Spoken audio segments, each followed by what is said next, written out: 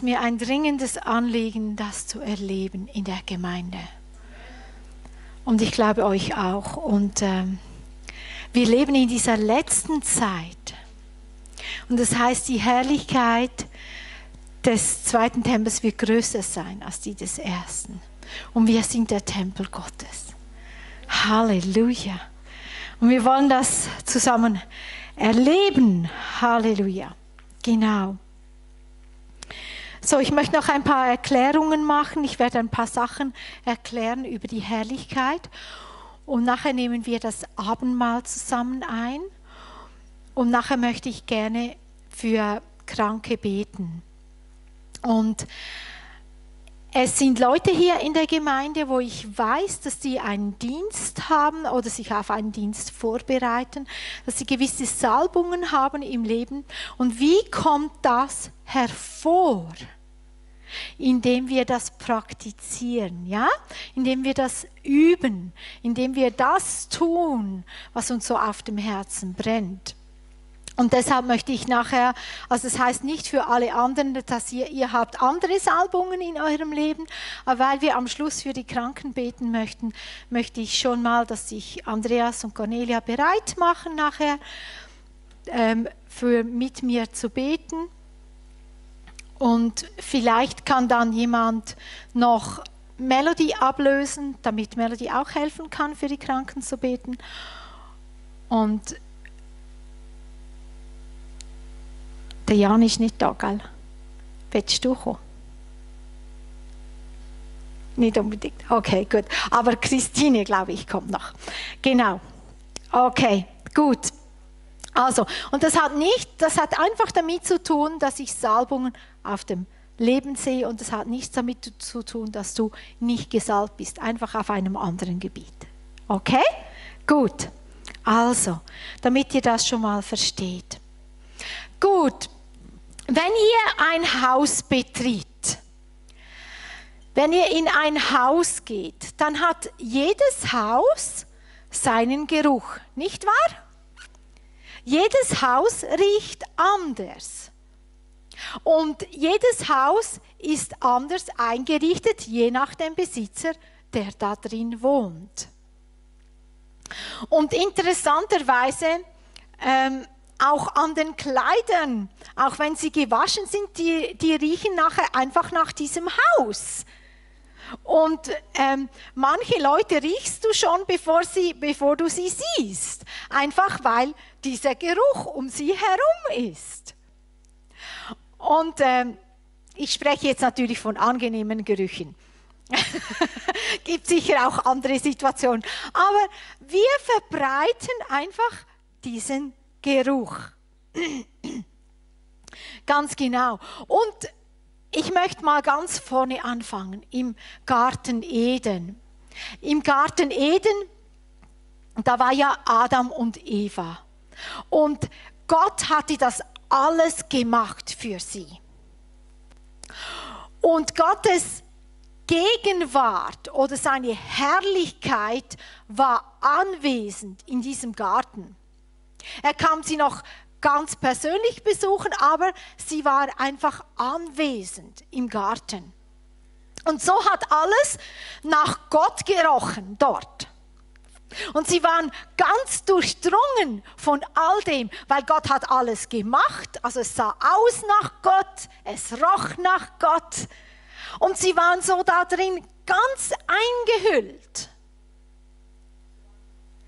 Und die Herrlichkeit, also Gottes Gegenwart war einfach da und es, Eden heißt ja auch Freude, vollkommene Freude und einfach alles war gut, ja? Oder? Wir sagen ja das Paradies, das Paradies, das ist so das Vollkommene. Es war so.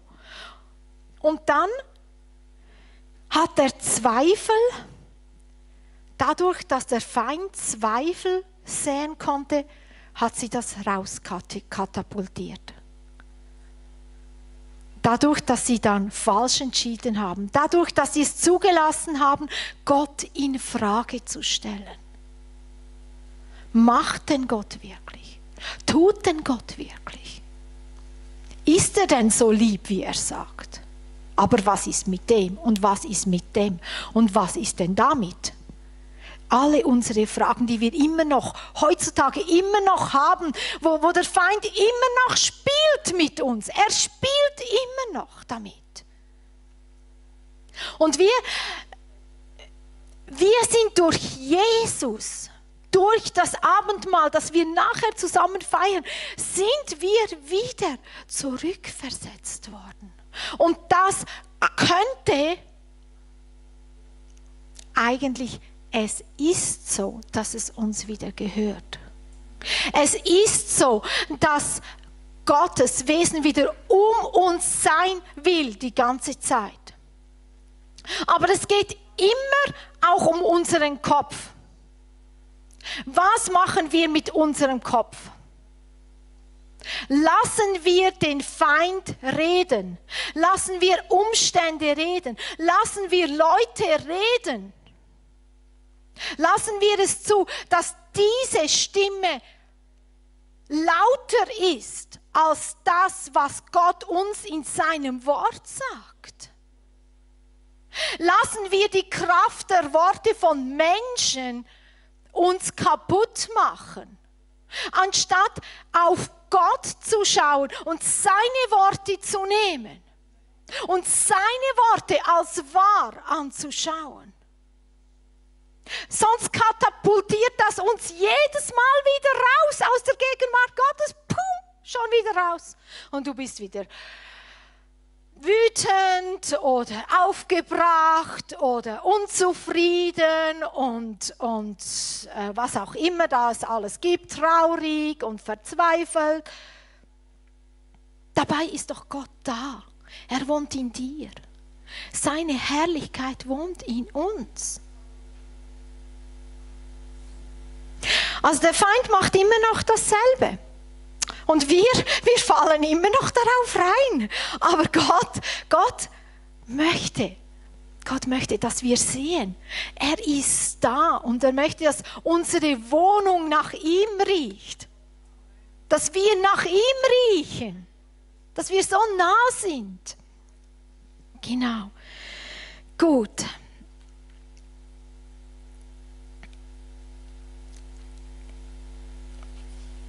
Ich möchte euch zwei Worte erklären. Ich möchte euch die Worte Herrlichkeit erklären. Jan? Bist du bereit? Okay. Gut, das erste Wort. Das erste Wort Herrlichkeit heißt auf Hebräisch heißt Kabot. Und dieses Wort heißt Gewicht, das Gewicht von Gott.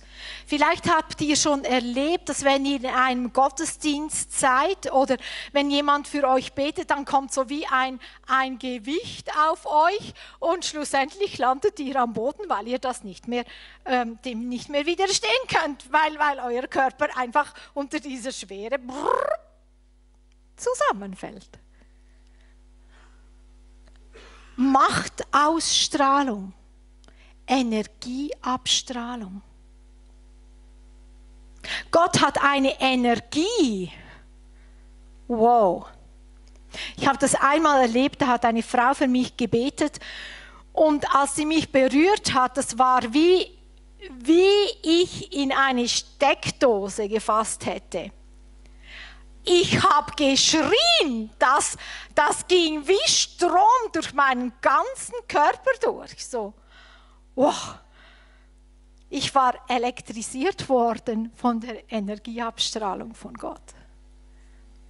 Aber es war gut, es hat nicht wehgetan, aber trotzdem, ich konnte, ich, ich, ich, äh, ich, mein Körper musste irgendwas machen. Ich wusste nicht, wohin mit all dieser Energie. So habe ich halt geschrien. aber es war ein gutes Schreien. genau. Ähm, ja, genau. Also wenn du, wenn du an ein Stromkabel ähm, rankommst und, und es, es auf Schweizerdeutsch, es haut dir eine, es, äh, es schlägt durch, dann ähm, bist du vielleicht auch nicht ganz leise. Also, genau. Also das ist dieses Wort. Gott möchte kommen mit, mit seinem ganzen Gewicht mit seiner Machtausstrahlung, mit seiner ganzen Energie. Und diese, diese Energie, die, die macht ja dann was, oder? Was Gutes. Die, die kann dann Knoten lösen in unserer Seele, die kann, die kann Heilung bewirken in unserem Körper. Die kann sogar Metall zum Verschwinden bringen. Die, die kann so vieles machen. Und, und ich möchte einfach, dass wir das wissen, diese, diese Herrlichkeit ist nicht nur ein bisschen Hühnerhaut äh, oder, oder den Rücken runter ein bisschen einen, einen kalten Schauer oder so. Das, das ist Wirklichkeit. Also ich glaube, wenn jemand vom Blitz getroffen wird, dann sagst du nachher auch nicht, ja, das ist ja nicht so schlimm gewesen oder das ist ja nicht so, nicht so. Äh, du weißt dann, dass das war gar nicht harmlos. Aber Gott ist natürlich ein guter Blitzschlag, wenn er dich trifft, oder? Und, und da passiert was Gutes in uns. Und nicht was Schlimmes wie bei einem Blitzschlag, wo du dann ziemlich zerstört bist, oder? Also Gott, Gott hat eine Wahnsinnsenergie. Und ich spreche jetzt nicht esoterisch, sondern diese Worte gab es schon lang, bevor die Esoterik da war. Gott war zuerst mit seiner Kraft. Und das, das bisschen Energie, das die anderen haben, und sowieso ist es aus der falschen Quelle, also vergiss das mal. Genau. Also, nachher haben wir noch ein griechisches Wort von Herrlichkeit. Das heißt dann Majestät, Exzellenz, Schönheit, Stärke, Größe, Macht, Ehre, Reichtum, Fülle, Würde und die Königlichkeit einer Person. Also wenn Jesus, und es heißt ja, wo zwei oder drei versammelt sind, da bin ich mitten unter ihnen. Also Jesus ist jetzt gerade hier mit seiner Majestät, seiner Exzellenz, seiner Schönheit, seiner Stärke, seiner Größe und Macht, seiner Ehre, seinem Reichtum, seiner Fülle, seiner Würde und seiner Königlichkeit. Ich glaube, Wisst ihr, wenn man in eine katholische Kirche geht, da muss man leise sein. Sie sagen dem, man soll Ehrfurcht haben. Und ich weiß, ich bin ja katholisch aufgewachsen, deshalb darf ich darüber sprechen. Ich bin, ich darf das, weil ich weiß, von was ich, von was ich spreche. Das hat seine Richtigkeit, weil Gott ist heilig. Gott gehört Ehre. Gott tritt man nicht respektlos gegenüber. Und trotzdem ist es zu einer religiösen Tat geworden dort. Und so sollen wir nicht zu Gott kommen, indem wir eingeschüchtert sind. Nein, wir können, können voller Freude kommen. Wir, können, wir dürfen jubeln und klatschen und singen und tanzen in einer Kirche. Ja, aber der Respekt, der Respekt, der darf nicht wegfallen. Und das ist jetzt unser Problem geworden, weil irgendwie, indem man nicht mehr leise ist und nicht mehr so, uh, das ist eine Kirche und da benimmt man sich und da, da hat man Ehrfurcht, ist plötzlich die Ehrfurcht weggefallen. Also wir haben einfach die Straßenseite gewechselt, ja? Und Ehrfurcht, Ehrfurcht muss unbedingt dazugehören. Weil unser Gott ist heilig. Er ist heilig. Und, und doch hat er uns so lieb, Genau. Und jetzt möchte ich rüberwechseln zum Abendmahl. Jan, kannst du mir die nächste Folie einblenden? Ich habe gestern ähm, ein kurzes Video mir angeschaut von Billy Brim. Ich weiß nicht, wer sie kennt. Sie ist eine ältere Dame, eine Prophetin und ähm, eine Frau, die schon sehr, sehr lange im Dienst ist. Und sie hat selber Hebräisch gelernt und sie hat gesagt, dass eines der Bedeutungen des Wortes Opfer ist eben ähm, also das, das, Wort heißt Korban und eine, eine der Bedeutungen ist ein Fahrzeug, um uns in Gottes Nähe zu bringen. Und das hat mich so fasziniert. Das hat mich fasziniert. Weil somit ist also, wenn wir das Abendmahl nehmen, ist das wie, wenn wir in den Bus einsteigen und unser Ziel ist es, bei Gott zu landen. Ganz nah bei Gott zu landen. Oder es ist natürlich dann auch andere Worte. Das Wort, wenn wir der Lobpreis unseren Lipp, unsere Lippen als Opfer zu bringen. Das ist dann auch ein Fahrzeug, das dich ganz nah zu Gott in die Nähe bringt. Das dich ganz nah an Gott ranbringt. Oder halt vorher haben wir ein Opfer gebracht mit Geld. Das ist auch ein Fahrzeug, um uns ganz nah zu Gott zu bringen, um uns bewusst zu machen, er ist unser Versorger. Und wenn wir ihm geben, ist das nur ein Ausdruck von unserer Dankbarkeit, dass er uns viel mehr zu geben vermag, als wir ihm jemals geben können.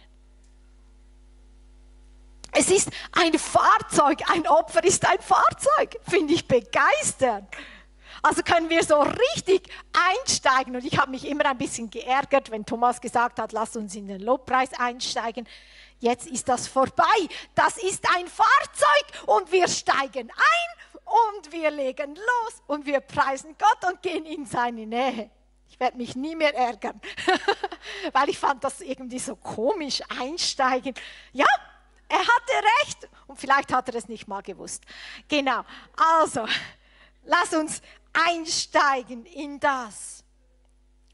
Ich möchte mit euch schnell in den Hebräer gehen.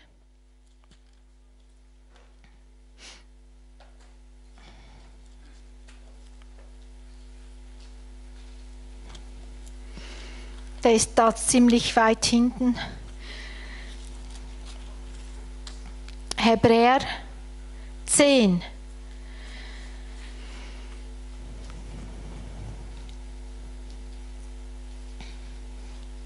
Und ich möchte einfach mal lesen von Vers 1 an bis 25.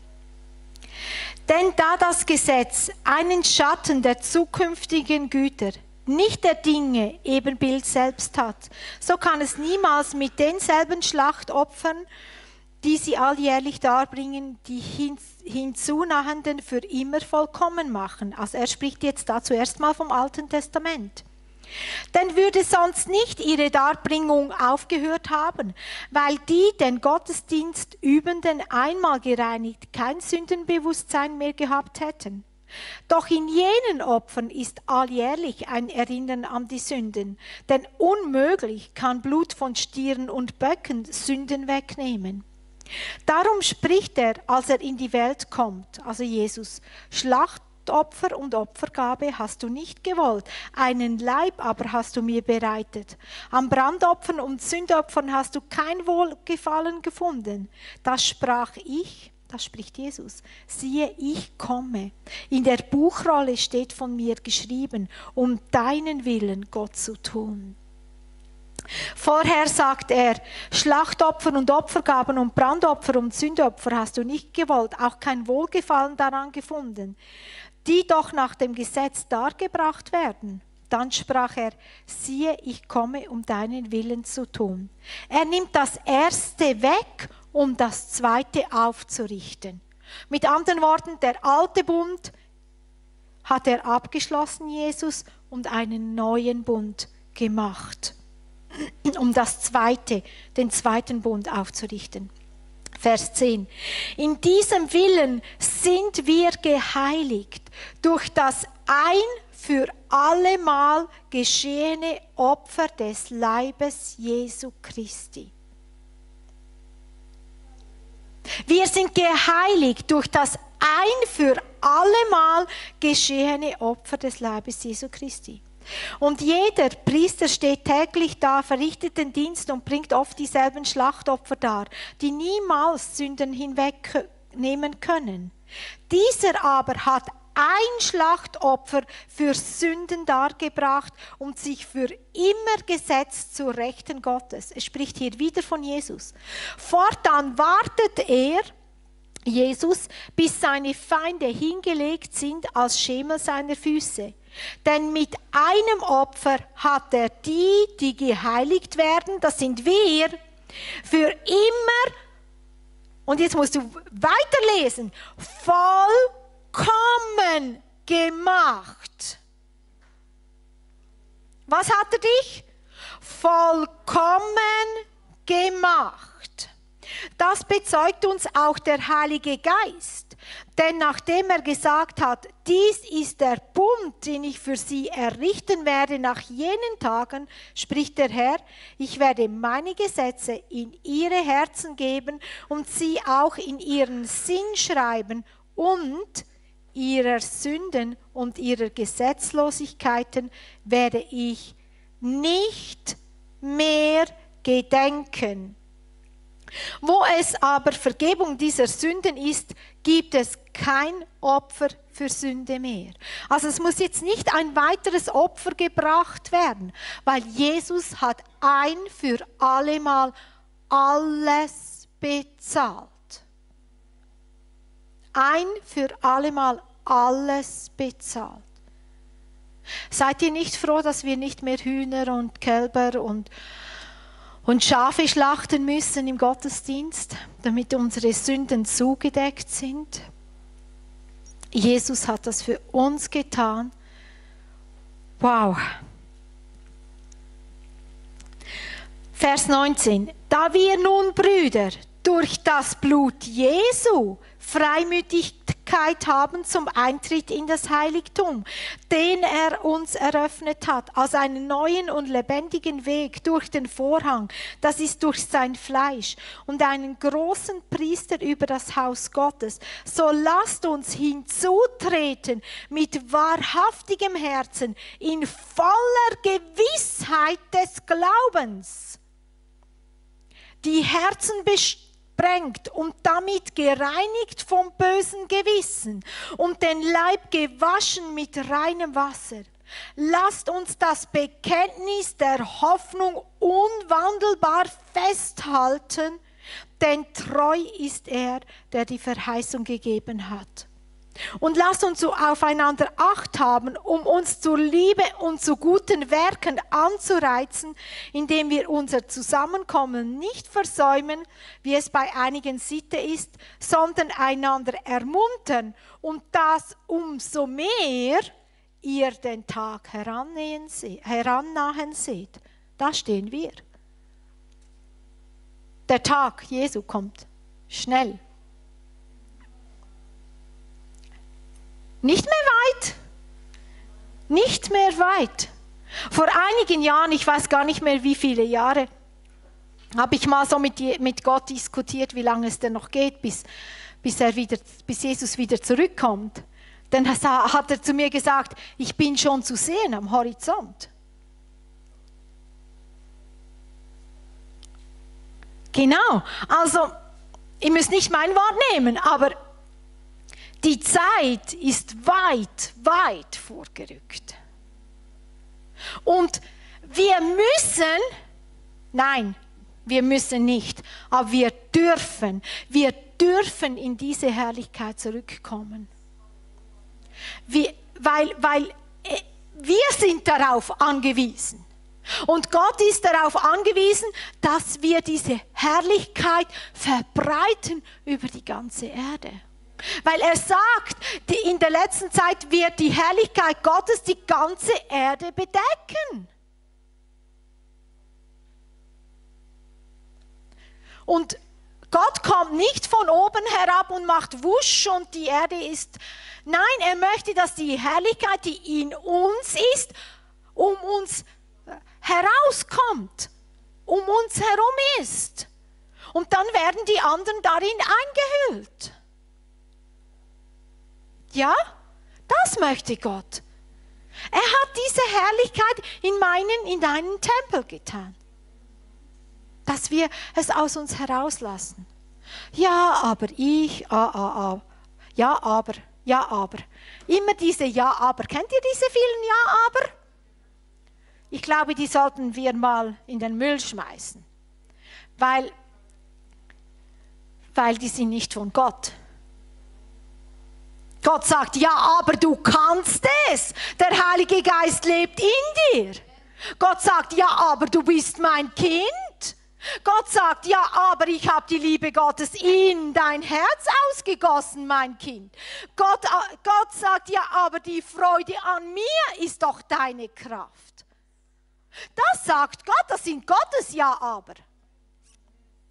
Und seine Ja, aber sind viel besser als die vom Feind. Viel besser.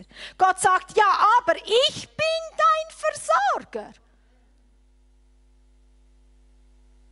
Und wir haben so viele Ja, aber.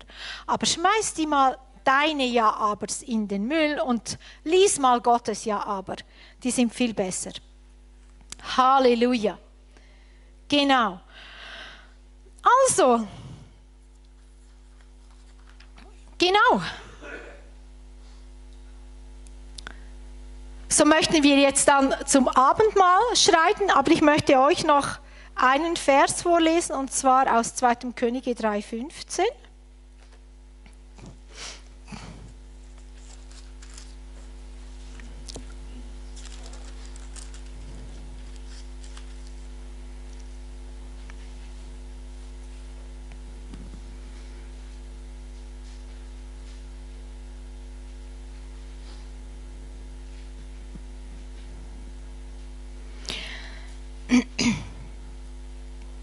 Elisa sagt hier, dass sie ihm einen Seitenspieler holen sollen. Und es geschah, 2. Chronik 3,15, und es geschah, als der Seitenspieler spielte, da kam die Hand des Herrn über ihn. Und dann hat Elisa angefangen zu prophezeien. Also Musik, und wie wir vorher gesehen haben, ist auch ein Fahrzeug zu Gott. Musik trägt die Salbung Gottes.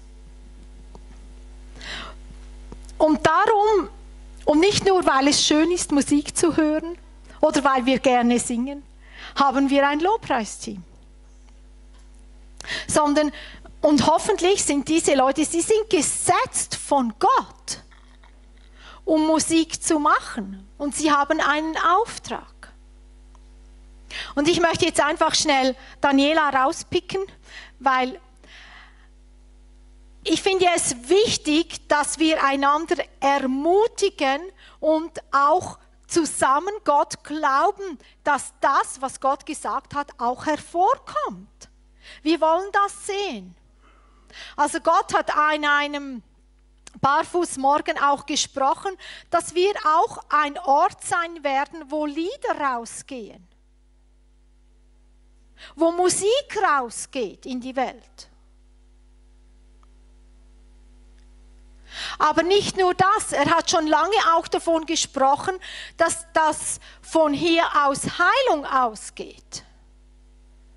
Dass wir ein Ort sein werden, wo die Kranken gesund werden. Weil wir so gut sind? Nein, weil Gott so gut ist. Weil er das möchte, weil er seine Menschen liebt und er leidet am meisten, wenn du leidest. Es ist ihm doch nicht egal. Und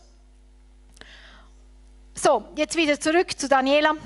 Also, Gott hat nicht nur einmal, sondern x-mal ähm, durch verschiedene Leute, die gekommen sind, durch uns selber, durch zu ihrem Herzen, gesprochen, dass wenn sie spielt, dass Heilungen geschehen werden. Und äh, ihr könnt natürlich sagen, ja, cool, oder ihr könnt sagen, glaube ich nicht, wenn ich es dann sehe, dann glaube ich es dann. Das ist eigentlich egal. Aber es hilft, wenn wir Leute, wo wir das Wissen unterstützen und sagen, jawohl, ich sehe das auch. Ich glaube mit dir, dass Gott das tut durch dich. Wir wollen uns so unterstützen, dass wir alle in die Salbungen hereinkommen. Alle in diese Sachen, wo Gott für uns hat, weil wir haben alle unsere Begabungen. Und Gott will die entwickeln. Und wir als Gemeinde möchten die entwickeln. Genau. Und alles hat seine Anfänge. Und ihr wisst genau, als ihr laufen gelernt habt, habt ihr das nicht am ersten Tag gekonnt, sondern ihr habt es geübt. Und ihr seid x-mal auf die Nase gefallen. Und deshalb wollen wir das auch, wir wollen das üben. Weil eines Tages werden wir rennen damit. Und klettern und Berge erklimmen und Mauern überspringen. Aber irgendwo müssen wir anfangen. Ja? Genau. Also, gut. Wir gehen zum Abendmahl. Das ist ein Fahrzeug. Jesus ist durch sein Opfer ein Fahrzeug, das uns zu Gott bringt. Ja, aber jetzt, was mache ich denn? Wie sieht das aus? Wie sieht das praktisch aus? Wenn ich das Abendmahl nehme, dann denke ich nicht an was kommt nachher, welchen Film ich heute Abend schaue, sondern ich konzentriere mich auf das, was Jesus gemacht hat. Ich bin mit ganzem Herzen dabei. Ich lasse kein Ja, aber vom Feind in meine Gedanken. Ich stoppe das. Ich konzentriere mich völlig auf Gott. Ich richte mich aus mit Dankbarkeit für das, was er gemacht hat. Ich empfange im Glauben, was er getragen hat am Kreuz. Alle meine Schmerzen, alle meine ähm, Gebrechen, alle meine Krankheiten hat er auf sich geladen. Lass uns das als Fahrzeug benutzen. Jesus hat gesagt, wir sollen es im Gedenken an ihn tun. Gedenken hat mit Denken zu tun. Volle Konzentration auf Jesus. Einsteigen und puh, Du weißt, wenn du in ein Auto einsteigst und du bist nicht konzentriert, konzentriert, oh meine Güte, das kommt nicht gut raus. Also, lass uns das voll konzentriert tun. Uns auf Gott ausrichten. Und nachher werde ich dann weitere Angaben geben. Gut. Halleluja. Vater im Himmel, wir sind dir so sehr dankbar für den Leib, den Leib von Jesus Christus, welcher den lebendigen Weg zu Gott, Vater, frei gemacht hat. Danke, Herr, dass du dein Leib gebrochen hast, damit wir frei sind von Krankheit, Gebrechen, Schmerzen, dass du dieses Opfer dargebracht hast, in Jesu mächtigem Namen. Lasst uns essen.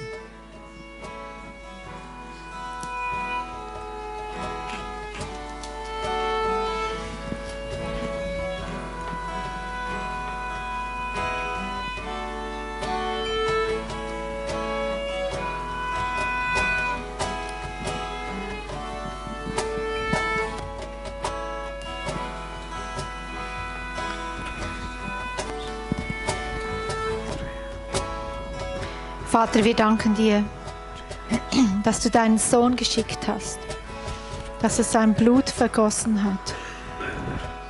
Jesus, wir danken dir für die Vergebung unserer Sünden durch dein Blut.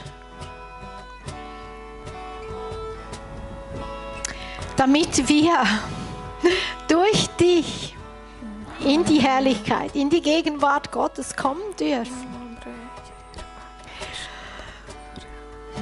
Danke, Jesus, für diese wunderbare Möglichkeit. Und danke, dass du am Kreuz alle unsere Gesichter vor dir gesehen hast. Und um der vor dir, äh, vor dir liegenden Freude, das alles erduldet hast, weil du gewusst hast, du wirst uns erkaufen können dadurch, was du jetzt durchmachst, damit wir frei zum Vater gehen können.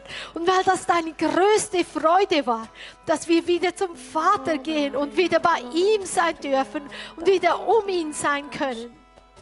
Und dafür hast du das alles gemacht, Jesus. Und ich danke dir von ganzem Herzen. Lass uns trinken. Oh, Halleluja.